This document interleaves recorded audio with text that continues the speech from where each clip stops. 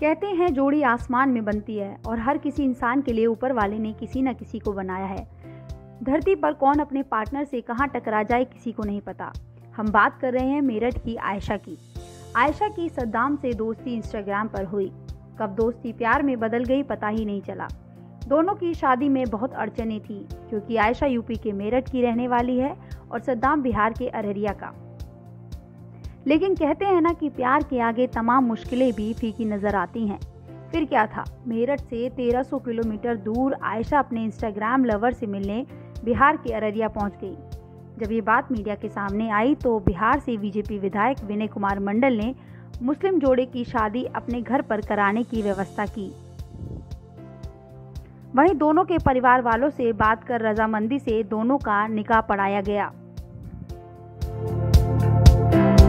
तीन दिन पहले मेरठ कॉलेज से एक छात्रा के गुमशुदगी की सूचना मिली थी और उसकी बरामदगी की के लगातार प्रयास किए जा रहे थे। इस संबंध में उसकी लोकेशन अररिया ज़िले में ट्रेस हुई थी और वहाँ जब पुलिस की टीम पहुँची तो पता चला कि वो अपने स्वेच्छा से एक युवक के साथ आई है और दोनों युवक बालिग हैं। दोनों युवक और युवती बालिग हैं और उन्होंने स्वेच्छा से अपना निकाह रचा लिया है और इस संबंध में उनका बयान लेकर और उनका मजिस्ट्रेट के सामने बयान कराकर आवश्यक कार्रवाई की।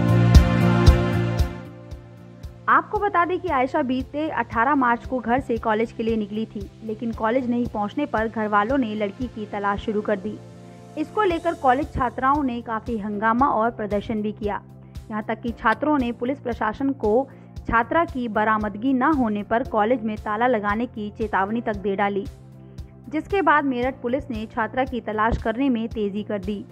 सीसीटीवी फुटेज और कॉल डिटेल्स के आधार पर पुलिस ये पता लगाने में कामयाब हुई कि लड़की बिहार के अररिया में ही है। यहाँ लड़की अपने इंस्टाग्राम लवर से मिलकर शादी करने पहुँची। लड़की बालिग है और वो अपनी मर्ज़ी से अपने जीवन साथी को चुन सकती है।